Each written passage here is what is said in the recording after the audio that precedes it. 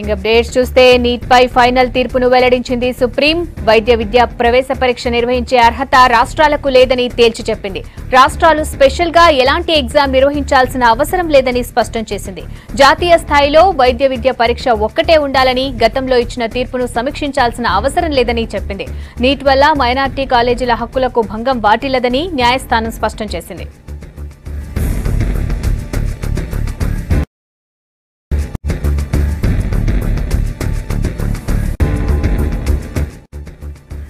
మరోవైపు మే ఒకటిన నీట్ ఎగ్జామ్కు హాజరైన విద్యార్థులకు మరో అవకాశం కల్పించింది. జూలై ఇరవై నాలుగున నిర్వహించే ఎగ్జామ్కు హాజరు కావచ్చని వెల్లడించింది.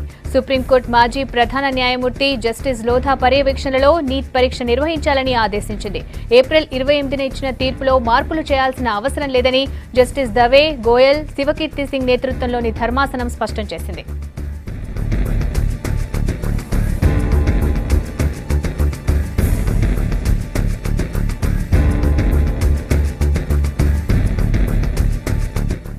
ఇష్యూ ఇష్యూపై మరిన్ని డీటెయిల్స్ భరత్ లైవ్లో అందిస్తారు. భరత్ నీట్పై సుప్రీం తీర్పులో ఏముంది? నీట్పై సుప్రీంకోర్టు తీర్పులో ముఖ్యాంశం ఏంటంటే రాష్ట్ర ప్రభుత్వాలు ఈ సంవత్సరానికి కూడా ఎట్టి పరిస్థితుల్లో ఎగ్జామ్ నిర్వహించరాదు. దేశంలో ఎంబీబీఎస్ బీడీఎస్లో ఎవరైతే అడ్మిషన్ కోరుతున్నారో అన్ని రాష్ట్రాల విద్యార్థులు కూడా ఖచ్చితంగా నీట్ ఎగ్జామ్ రాయాల్సిందే. ఇప్పటికే ఆయా రాష్ట్రాల్లో జరిగిన ఎగ్జామ్స్ రాసి ఉన్నా సరే ఖచ్చితంగా నీట్ ఎగ్జామ్ మాత్రమే వ్యాలిడ్. మిగతా ఎగ్జామ్లు అన్నీ కూడా రాష్ట్రాలు నిర్వహించే ఎగ్జామ్లు అన్నీ కూడా ఇన్వాలిడ్ అని సుప్రీంకోర్టు తీర్పు ఇచ్చింది ఏప్రిల్ ఇరవై ఎనిమిదో తేదీన ఇచ్చిన తీర్పుకు ఇవాల్టి తీర్పుకు ఒకే ఒక్క మార్పు సుప్రీంకోర్టు చేసింది. అదేంటంటే NEET one exam already May ఫస్ట్న అయిపోయింది. ఆ ఎగ్జామ్ రాసిన వాళ్ళు కూడా మళ్ళీ రెండవ విడత నీట్ ఎగ్జామ్ రాయొచ్చు. ఎందుకంటే ఈ దీన్ని ఎందుకు ఈ తీర్పు ఇచ్చిందంటే మే ఫస్ట్న ఎగ్జామ్ ఇంతకుముందు అప్లై చేసిన వాళ్ళందరూ కూడా జాతీయ స్థాయిలో కేవలం పదిహేను శాతం సీట్ల కోసమే all India pre medical test రాశారు. అప్పుడున్న నిబంధనల ప్రకారం కేవలం పదిహేను శాతం సీట్లు వేరే రాష్ట్రాల విద్యార్థులకు కేటాయించే అవకాశం ఉండేది అప్పుడు అప్లై చేసినప్పుడు. కానీ ఇప్పుడు పరిస్థితి మారింది. సుప్రీంకోర్టు తీర్పు ఏప్రిల్ ఇరవై ఎనిమిది ఇచ్చిన తర్వాత మొత్తం సీట్లు కూడా ఎంబీబీఎస్ బీడీఎస్ పరీక్షల్లో జాతీయ వ్యాప్తంగా అర్హత పరీక్ష నీట్ అయింది కాబట్టి అప్పుడు సరిగ్గా ప్రిపేర్ కాలేము అనుకున్న విద్యార్థులు ఇప్పుడు రెండవ విడత నీట్ ఎగ్జామ్ రాయొచ్చు. అయితే వాళ్ళు చూజ్ చేసుకోవాల్సి ఉంటుంది. ఆల్రెడీ ఎగ్జామ్ రాసిన తర్వాత ఆ ఎగ్జామ్ ఇన్వాలిడ్ అని చెప్పి ఈ సెకండ్ ఎగ్జామ్ రాయాల్సి ఉంటుంది. అంతేగాని రెండిట్లో ఏది బెటర్ మార్క్స్ వస్తే దాన్ని చూస్ చేసుకోవడానికి మాత్రం వీల్లేదు. నీట్ ఎగ్జామ్ గతంలో రాయని వాళ్ళు తర్వాత గతంలో అప్లై చేసుకొని అప్పియర్ కాని వాళ్ళు కొత్తగా రాసేవాళ్ళు. అందరూ కూడా సెకండ్ ఎగ్జామ్ ఏదైతే నీట్ నిర్వహించబోతున్నారో దాన్ని రాయవచ్చని స్పష్టం చేసింది. ఇంకొక మాడిఫికేషన్ చిన్న మాడిఫికేషన్ కూడా చేసింది. గతంలో మెడికల్ కౌన్సిల్ ఆఫ్ ఇండియా కేంద్ర ప్రభుత్వము సిబిఎస్ఈ జూలై ఇరవై నాలుగో తేదీన ఈ ఎగ్జామ్ నిర్వహిస్తామని చెప్పాయి. అవసరమైతే ఈ డేటును కూడా మార్చుకోవచ్చని సుప్రీంకోర్టు స్పష్టం చేసింది. ఈ రెండు చిన్న మార్పులు తప్ప ఏప్రిల్ ఇరవై ఎనిమిదో తేదీన ఏదైతే తీర్పు చెప్పిందో ఆ తీర్పు అమల్లో ఉంటుంది. అంటే రాష్ట్ర ప్రభుత్వాలు ఎగ్జామ్ నిర్వహించడానికి వీల్లేదు. పైగా సుప్రీంకోర్టు ఒక క్లారిటీ ఇచ్చింది. ఈ తీర్పు వల్ల ప్రైవేట్ విద్యా సంస్థలకు కానీ రాష్ట్ర ప్రభుత్వాల హక్కులకు కూడా ఎట్టి పరిస్థితిలో భంగం వాటిల్లదు. మైనారిటీ విద్యా సంస్థలకు కూడా హక్కులకు భంగం వాటిల్లదు. ఎందుకంటే రిజర్వేషన్లు కానీ మైనారిటీ ఈ సీట్లలో ప్రవేశాలు కానీ ఈ తీర్పు వల్ల ఎట్టి మారవు. కేవలం ఎంట్రన్స్ టెస్ట్ మాత్రమే మారుతుంది కాబట్టి ఎవరి హక్కులకు కూడా భంగం వాటిలేదు కేంద్ర ప్రభుత్వ స్థాయిలో ఒక నిర్ణయాలు చేసినప్పుడు రాష్ట్ర ప్రభుత్వాలు ఎటువంటి చట్టాలు చేసినా లేకపోతే ఎటువంటి నిర్ణయాలు తీసుకున్నా అవి చెల్లవని కూడా సుప్రీంకోర్టు తన తీర్పులో స్పష్టం చేసింది. రాధిక.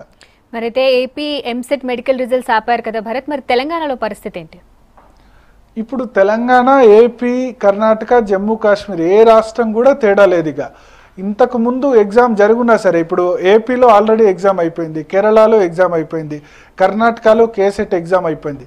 ఈ రాష్ట్రాల విద్యార్థుల ఇంతకుముందు రాసిన ఎగ్జామ్స్ అన్నీ కూడా ఇక చెల్లవు. మళ్ళా వాళ్ళు ఎగ్జామ్ రాయాల్సిందే. ఇప్పుడు ఏపీ విద్యార్థులు ఏపీకి సంబంధించిన ఇంజనీరింగ్ ఫలితాలు మాత్రమే విడుదల చేశారు. మెడికల్ ఫలితాలు విడుదల చేయలేదు. కారణం ఏంటంటే సుప్రీంకోర్టు తీర్పుతో ఇక ఏ ఎగ్జామ్ కూడా చెల్లదు. ఇక తెలంగాణ విషయానికి వస్తే మే పదిహేనో తేదీన ఎంసెట్ ఎగ్జామ్ ఉంది. సో మే పదిహేనున జరిగే ఎంసెట్ మెడికల్ ఎగ్జామ్ కూడా ఇక చెల్లదు. ఆ ఎంసెట్ మెడికల్ ఎగ్జామ్ రాష్ట్ర ప్రభుత్వం కండక్ట్ చేసినా సరే దాని రిజల్ట్ అన్నది వ్యాలిడ్ కానప్పుడు ఎగ్జామ్ కూడా రాసి వేస్ట్ కాబట్టి రాష్ట్ర ప్రభుత్వం కూడా ఖచ్చితంగా ఇక ఆ ఎంసెట్ మెడికల్ ఎగ్జామ్ నిర్వహించదనే మనం భావించాల్సి ఉంటుంది. ఎందుకంటే అందరూ కూడా నీట్ ఎగ్జామ్ రాయాలని సుప్రీంకోర్టు స్పష్టం చేసింది కాబట్టి ఖచ్చితంగా ఇక రాష్ట్ర తెలంగాణ రాష్ట్ర విద్యార్థులు కూడా ఖచ్చితంగా నీట్ ఎగ్జామ్కు అందరూ కూడా హాజరు కావాల్సిందే. ఏపీ విద్యార్థులైతే పరిస్థితి అయితే ఇంకా దారుణం. ఎందుకంటే వాళ్ళు ఆల్రెడీ ఏప్రిల్ ఇరవై తొమ్మిది ఎగ్జామ్ రాసేశారు. ఇవాళ రిజల్ట్ కూడా వస్తున్న సమయంలో సుప్రీంకోర్టు జడ్జిమెంట్ ఇచ్చింది. ఇట్లా చాలా రాష్ట్రాలకు సమస్య ఉంది. ఏపీ కర్ణాటక కేరళ ఇవన్నీ రాష్ట్రాల్లో ఎగ్జామ్ ఆల్రెడీ అయిపోయింది. అయినా సరే వాళ్ళంతా కూడా నీట్ ఎగ్జామ్ మళ్ళా ప్రిపేర్ అయ్యి మళ్ళీ అందరూ కూడా రాయాల్సిందే. సో ఏ రాష్ట్ర ప్రభుత్వం కూడా ఏ కారణంతో కూడా తప్పించుకోజాలదు. తెలంగాణ ఏపీలో article three seventy one D ఉన్నప్పటికీ నీట్ ఎగ్జామ్ ద్వారానే ప్రవేశాలు జరుగుతాయి. అంటే నీట్ ఎగ్జామ్ రాస్తారు. వేరే రాష్ట్రాల విద్యార్థులకు తెలంగాణ ఆంధ్రప్రదేశ్లో ప్రవేశం ఉండదు. ర్యాంకులు మాత్రం అంటే సీట్లు మాత్రం ఎంసెట్ ఎగ్జామ్ కాకుండా నీట్ ఎగ్జామ్లో వచ్చిన ర్యాంక్ ఆధారంగానే సీట్ల కేటాయింపు ఉంటుంది. సో అన్ని రాష్ట్రాలకు కూడా ఈ తీర్పు ఖచ్చితంగా వర్తించబోతుంది. రాధిక. దీనిపై ఇంకా ఏమైనా లీగల్గా ఆప్షన్స్ ఉన్నాయా భరత్? లీగల్గా ఇంకా ఎటువంటి ఆప్షన్స్ కూడా లేవు. ఆల్రెడీ ఏప్రిల్ ఇరవై ఎనిమిదో తేదీన సుప్రీంకోర్టు ఆదేశాలు ఇచ్చింది. ఆ ఆదేశాల మీదే ఈ ఆదేశాల సవరణ కోరుతూ తెలంగాణ ఆంధ్రప్రదేశ్ జమ్మూ కాశ్మీరు కర్ణాటక కేరళ చాలా రాష్ట్రాలు కూడా అప్పీల్ చేశాయి. ఆల్రెడీ ఒకసారి వాళ్ళంతా కూడా ఆదేశాల్లో మార్పులు కోరుతూ అప్పీల్ చేశారు.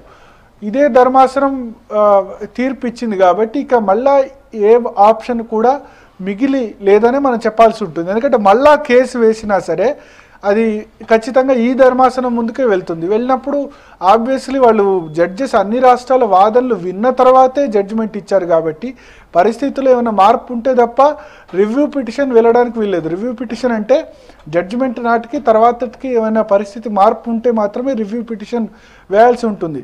కానీ అదే ధర్మాసనం ముందుకు మళ్ళీ కేసు వెళ్తుంది కాబట్టి ఇక లీగల్గా కూడా అన్ని దారులు దాదాపు మూసుకుపోయినట్లే.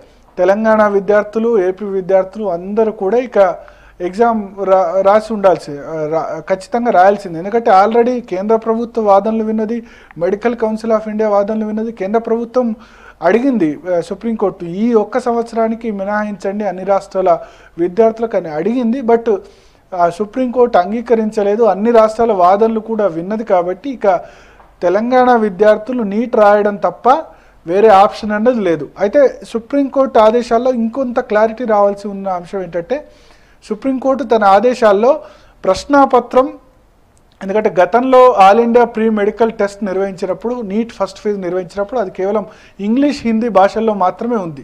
సో ఇప్పుడు తెలుగులో కూడా ప్రశ్నపత్రం ఉంటుందా లేదా అన్న విషయంలో మాత్రం సుప్రీంకోర్టు స్పష్టత ఇవ్వలేదు. సిబిఎస్ఈ అయితే మేము ఇంగ్లీష్ తెలుగు కాకుండా రీజనల్ లాంగ్వేజ్ తెలుగు తమిళ్ ఉర్దూ మ- మలయాళం కన్నడ తర్వాత మరాఠీ అస్సామీ ఇటువంటి భాషల్లో కూడా ప్రశ్నపత్రం తయారు చేసేందుకు సిద్ధంగా ఉన్నామని చెప్పారు. కానీ సుప్రీంకోర్టు ఆదేశాల్లో ప్రశ్నపత్రం తయా రీజనల్ లాంగ్వేజ్లో క్వశ్చన్ పేపర్ తయారు చేయమని ఎక్కడ కూడా చెప్పలేదు. సో ఈ విషయంలో ఇంకా క్లారిటీ రావాల్సింది. క్వశ్చన్ పేపర్ రీజనల్ లాంగ్వేజ్లో ఉంటుందా? ఉండకపోతే మాత్రం తెలంగాణకు సంబంధించి ఏపీకి సంబంధించిన గ్రామీణ ప్రాంత విద్యార్థులు మాత్రం చాలా తీవ్ర ఇబ్బందులు మాత్రం ఖచ్చితంగా ఎదుర్కొనే అవకాశం ఉంటుంది. సో ఏదేమైనా విద్యార్థులకైతే కొంత ఇది చేదు కబురైన కోర్టు నిర్ణయాన్ని అందరూ కూడా గౌరవించాల్సి ఉంటుంది కాబట్టి ఇక ఎంసెట్ మెడికల్ ఎగ్జామ్ పదిహేనవ తేదీ తెలంగాణలో జరిగే ఎగ్జామ్ కూడా ఇక లేనట్లే మనం భావించాల్సి ఉంటుంది. రాధిక.